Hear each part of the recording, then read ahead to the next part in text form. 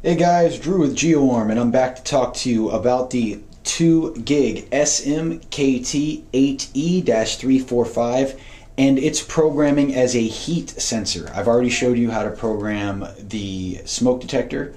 This is going to be the heat option, which is the same, it's the same sensor, it's just got three separate loops that can be programmed on it. So you have the smoke, this is going to be the heat, and there's also a freeze. So this is to detect heat uh, and I'm going to show you how to do that one here. Um, it's actually pretty easy to get in there. What we're going to do is we're going to press the gear in the bottom right hand corner of the of the screen itself. We're going to enter the installer code, which is 1561 from factory, because this is a factory panel. I haven't changed anything on it. Uh, we're going to go down to installer toolbox. At that point, a new set of options will appear. Go ahead and hit panel programming. When you get to panel programming, you're going to see wireless zones. Go ahead and click on that. Now, uh, this is a, a, fresh blank panel. You'll probably have zones programmed in yours already. So go ahead and just choose whatever the next available zone would be. Uh, in my case, I'm just going to go with zone 1. And then you're going to choose the equipment code uh, once the new set of uh, options populates. So hit the hamburger icon on the right hand side. We are going to be choosing the SMKT, so we just got to find the right code here. So it is the 2058 for that device. Then you're going to go ahead and hit the down arrow. And then the sensor type. This is going to be a heat detector, so you're going to program it exactly like a fire. So 09 for 24 hour fire. At that point, hit the down arrow. It's going to go to the TXID. This is where we're going to learn the device in.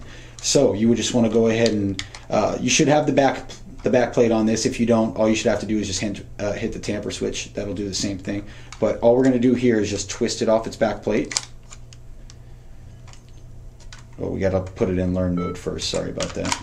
So we'll go ahead and do this again. Twist it off its back plate. At that point, it'll show up. Sorry about that, guys.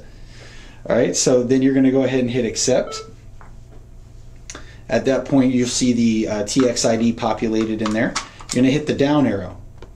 It's going to ask you for the loop number. Now, this is important because, as I said, this, this one operates on three different loops. So you have loop one, which is the smoke detector, loop two, which is what this is going to be for the heat detector.